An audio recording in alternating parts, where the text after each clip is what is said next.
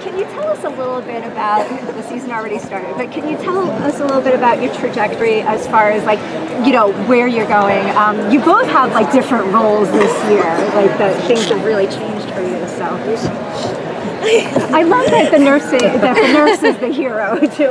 Oh, thank you.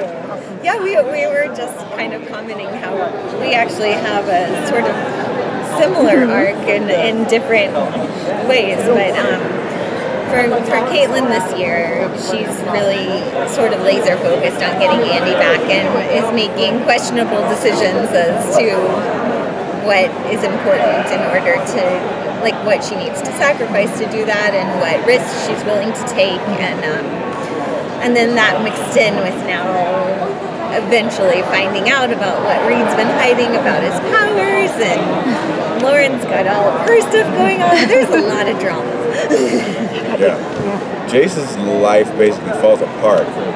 You know, he, he at the end of the season, he last season he quits Sentinel service.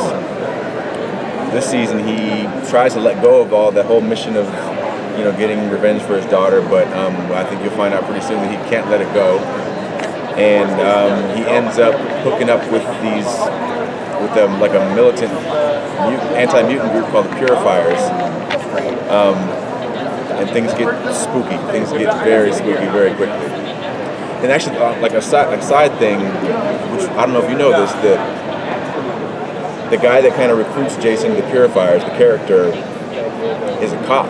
Jason goes to the cops to be like, "Hey, this is going on," and one guy hears him, and they got the, the writers got the idea of having a, like a cop who's also a purifier from an article about people that are in the KKK that are cops. So it's, it's spooky. It's kind of terrifying stuff to even think about. But um, yeah, but so thrilling to play. Yeah, so that's the starting point for for Jace this season. Yeah, it's pretty crazy. Is it tough to get into that headspace?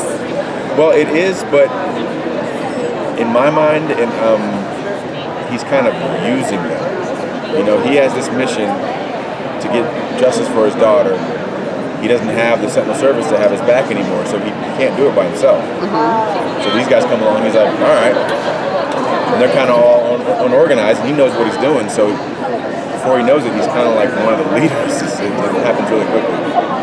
I think one of the good things that our show did last year, but I think it goes even further with this year, is that it really shows so many different sides of the argument of like there's now the Morlocks who want humans to be eradicated. There's the us who the um, mutant underground who thinks we should all be together, and there's the inner circle who wants them to have their own mutant homeland, and then the purifiers want to get rid of all the mutants. And even though I feel like everyone in the show has a solid argument for why they're right. You yeah. know? Like with him, he's a nice guy and you're like, oh, it seems like he's not. Well, I feel bad for him because they killed his daughter and he should have. It's yeah. not fair that that happened. And so they really do show even of the terrible sides in which I bet we all have our own idea of what is actually what we would do and what we would fight for. But I mean, my side is right, but um, it probably kind of is. It is.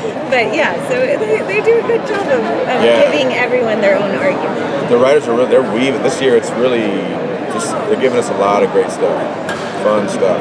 With the show as serious as it can be, uh, do you guys get a chance to have fun on set and interact with some of the people that maybe you're not shooting with all the time?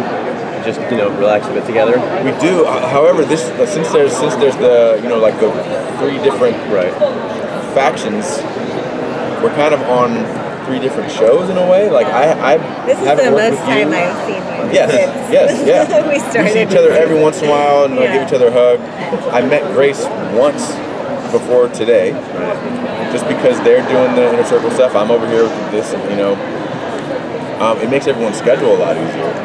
But yeah, we still have a chance to have fun, and we have we always have Derek Hoffman, the executive producer, who does nothing but pranks. so